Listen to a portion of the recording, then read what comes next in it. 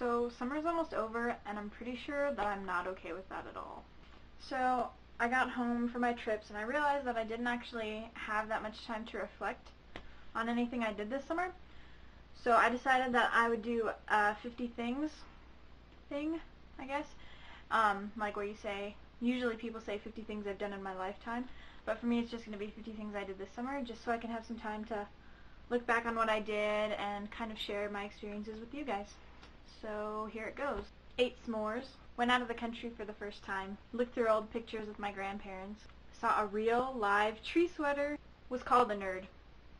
Multiple times, played guitar, acted like a tourist, went on a plane twice in less than 48 hours, made my Relient K fan pilgrimage to Canton, Ohio, sat around a campfire, got my feet washed, procrastinated, got my picture taken with Harry Potter in outer space, Yes. had a puppy nibble on my toes.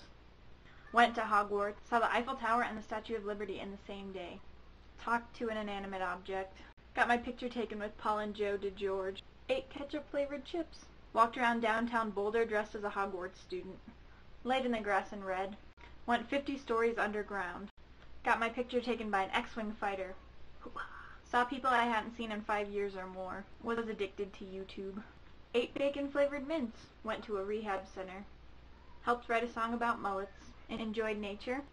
Ate too much. Rode on a plane six times.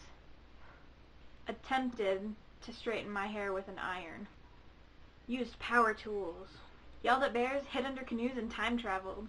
Had lunch at Miss Molly's tea room. Caught lightning bugs, and then let them go again. Was lazy. Became someone else for a week. Was closer to marijuana, heroin, and cocaine than I ever have been in my whole life. Was head girl. Walked along the beach for the first time. Drank Seattle's best coffee. In Seattle. Was punished by Professor Umbridge. Went to Las Vegas and hated it. Acted as navigator. Sang happy birthday. Fangirled a lot. Spent more money than I should have. Went to my first real yarn shop.